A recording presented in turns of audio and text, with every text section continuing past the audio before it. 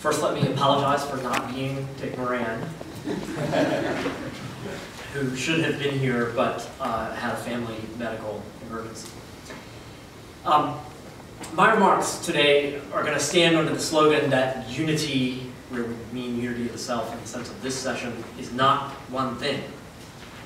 So in this session, our topic is something like stories without se uh, selves without stories, and it highlights the synchronic unity of the self by contrast to the special diachronic narrative form of unity that was the focus yesterday.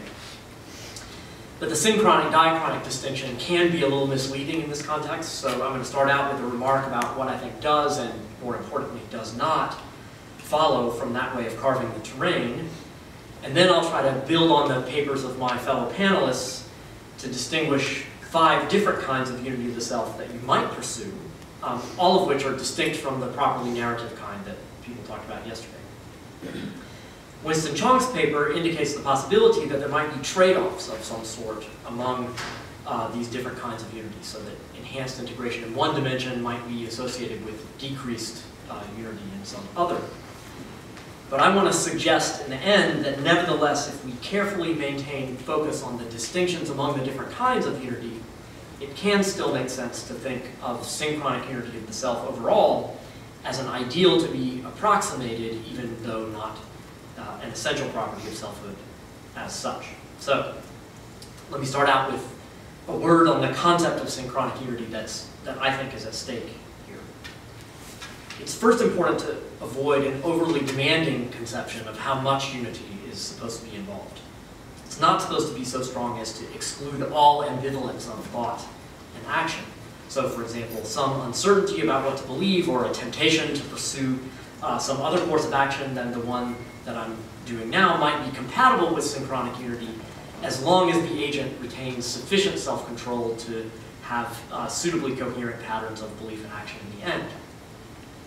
Second point, a focus on the synchronic should not be taken to restrict our attention entirely to cognition or action in the immediate moment. On the contrary, the sort of unity I think we should seek under this title is often manifested only through coherence of the agent's life over time, for example, when her life is unified by some virtue or other disposition of character that manifests in a bunch of different situations and circumstances. What separates unity of that sort or the failure of unity of that sort from the narrative kind under discussion yesterday is not restriction to the immediate moment, but some basis in non-temporal relations among the agent's standing attitudes or between the standing attitudes and some more current uh, uh, states or reactions. Such unity is synchronic in the sense that the integrating structure itself doesn't have to involve temporal shape of the sort that is essential to a narrative or a plan or a process of belief change across time or something like that. With these qualifications in place, uh, let me talk about a few different kinds of uh, unity that I think deserve consideration. So one of the primary ways that we unify our practical lives is through value. Unlike mere desires or drives, values express an attachment to their object that aims to stabilize the agent's practical commitments in the face of disorder or variation in our circumstances. When we value something, we not only endorse it now, but we subject ourselves to a certain amount of rational pressure to keep on. The value gives us an internal reason to protect what we value, and if it's threatened by external circumstances or even by drift in our own commitments, then the rational pressure enters the scene and underwrites either self-criticism, if we're failing to live up to the value, or regret, if luck is making us uh, lose touch with it, or maybe we think that the value ought to be abandoned and the rational pressure is there to enforce a kind of rational reconsideration of the value itself. So this is the kind of point that's made in the literature a lot. I've been thinking about it because of Jorah Dannenberg's work on promising, but uh, lots of people make that kind of point and it's that stabilizing power of value that I think connects Thomas Pavel's rich account of this double look that he was talking about that's involved in certain kinds of engagement with fiction to our present questions about the unity of the self. So the threat to unity that's alive in the Pavel paper is our ineluctable exposure to accidents that are visited on us by the chaotic world that doesn't care about our needs or interests, or else uh, from our own inconstancy, our propensity to let ourselves down. In the face of vulnerabilities like that, the self strives to maintain some kind of stability of practical commitment by attending not merely to the variable real circumstances, but simultaneously by what Pavel in the paper was calling the double look up to the shining stars, to that fixed ideal that's represented through our valuing attitudes. For Pavel, that stabilizing potential can even be directly felt, even in those cases where we can't fully articulate it. And this was the point he was pushing at the end of the paper where he was complaining about Kantians like me. Have an extra thought too many about our, about our moral obligations instead of just responding. Right? So he was echoing the Williams point about the thought too many there.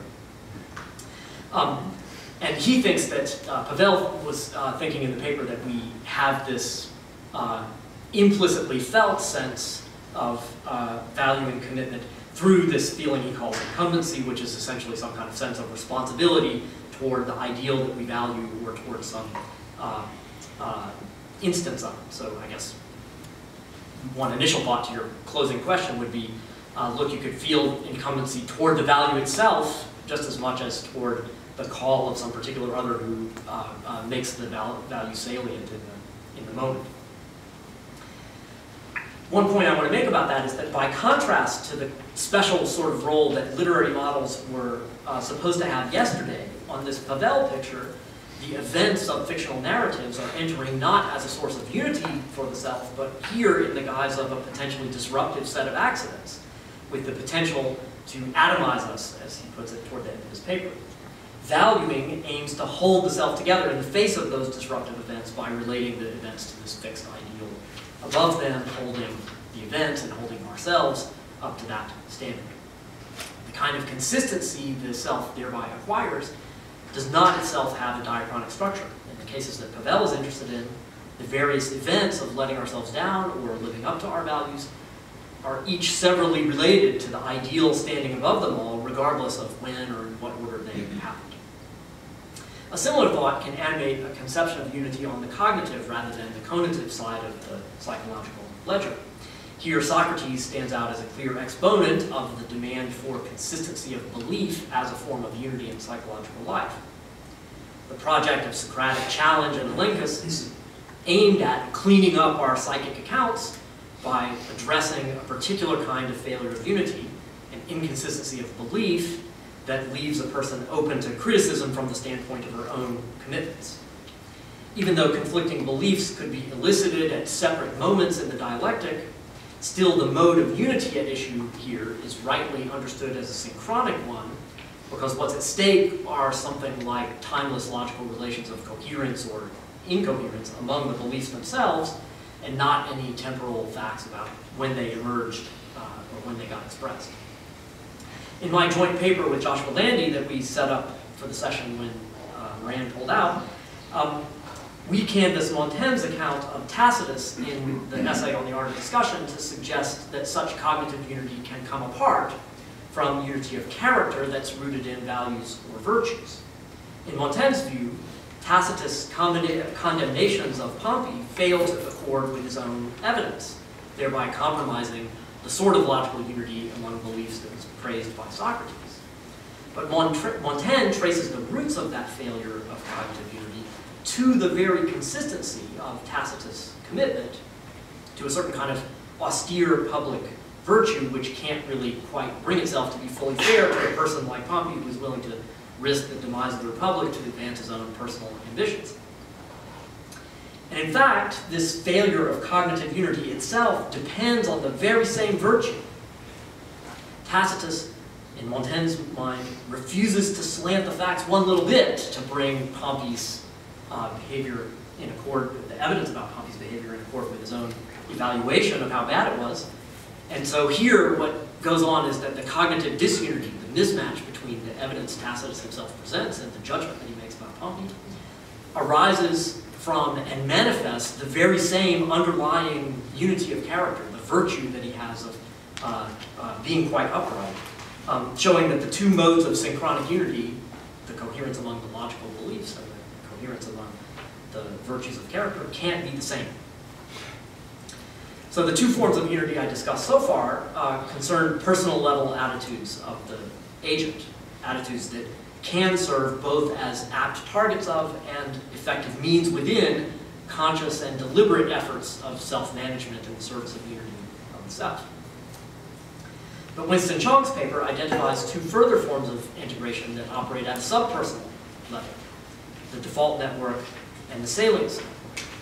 From the point of view of my theme, the most important feature of his discussion is uh, that these two networks are anti-correlated uh, in certain experimental contexts. That's connected to the fact that the salience network is so-called task positive and the default network task negative. I gather from our exchanges before the conference that there remains some controversy in the literature about the proper interpretation of this anti-correlation. I myself speculate, but what do I know? I speculate that, at least under certain circumstances, there may be some actual trade-offs between the two networks in concrete cases in operation. But in other cases, uh, the networks do seem to need to operate together and uh, may even become mutually reinforcing. And Winston has interesting things to say about that. So he himself advocates a hierarchical relation between the salience network and the default network, where the salience network has the role of regulating the default network. But however the details turn out here, the key conceptual point remains, namely that here we have two fundamentally different kinds of unity or integration that rely on separate bases in these two separate networks, uh, to support the brain's capacity to bring together separated activity into coherent uh, thought and action. The basic conceptual separation between these two types of integrated structure explains why it's even so much as conceptually possible that there might be competition um, between. The relevant difference is manifested by the separate characteristic forms of failure of these two different networks in the two different kinds of dimensions that uh, uh, Winston pointed out to us. And that returns us a, a little bit to the synchronic diachronic distinction. The distinctive type of integration provided by the default network concerns capacities to integrate thought and action across time in plans and in simulations about the future and the past and stuff like that. These are capacities which fail in Alzheimer's dementia. By contrast, the salience network involves the integration of distributed attentional resources that are needed to respond in the present moment in a way that flexibly coordinates thought and action in light of the self's total interest. So failures of integration in this network, uh, Winston was claiming, um, occur in frontotemporal dementia, and they impair the sort of moment-to-moment -moment guidance in light of the agent's standing interests that we saw in uh, some of the videos that he showed us. So the basic distinction that Chong emphasizes between the two networks supports, I think, the abstract conclusion that I want to push here, namely that what we call unity of the self simply cannot be one thing, but must consist in different types of integration that contribute basically different unifying structures toward the overall goal of rendering coherent thought and action uh, for the agent.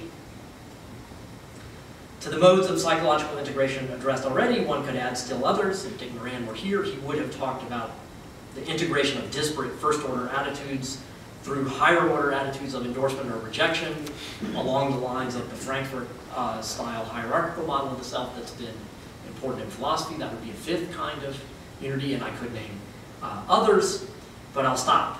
Um, uh, the distinction and even potential competition among these various modes of synchronic unity raises a different kind of question, and I want to conclude with that. That question is something like this. Does it make sense to envision any kind of meta-level form of unity that would consolidate the different modes of uh, integration with one another? Clearly, the anti-correlations identified by Chong at the subpersonal level and by Montaigne's reading of Tacitus at the personal level show that different modes of integration can come apart from one another and may even maneuver into open competition. In my view, it follows that such a meta-level unity of the self could only be thought of as a particular kind of achievement of a person rather than as a fixed property. And to my mind, that fact undermines traditional philosophical efforts to ground the self and its unity metaphysically, for example, by tracing it back to simplicity of the conscious substance or something like that.